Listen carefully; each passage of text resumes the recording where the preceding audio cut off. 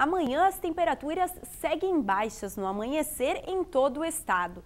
E ainda pela manhã, a umidade vinda do oceano pode causar chuvas fracas entre o litoral norte e a região metropolitana.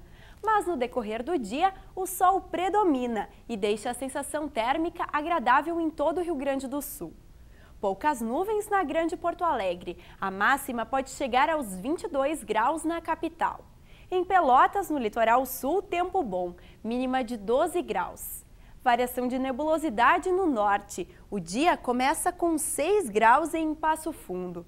E a sexta-feira vai ser ensolarada na campanha e também na fronteira oeste. Faz 22 graus em Santana do Livramento e 24 graus em Itaqui.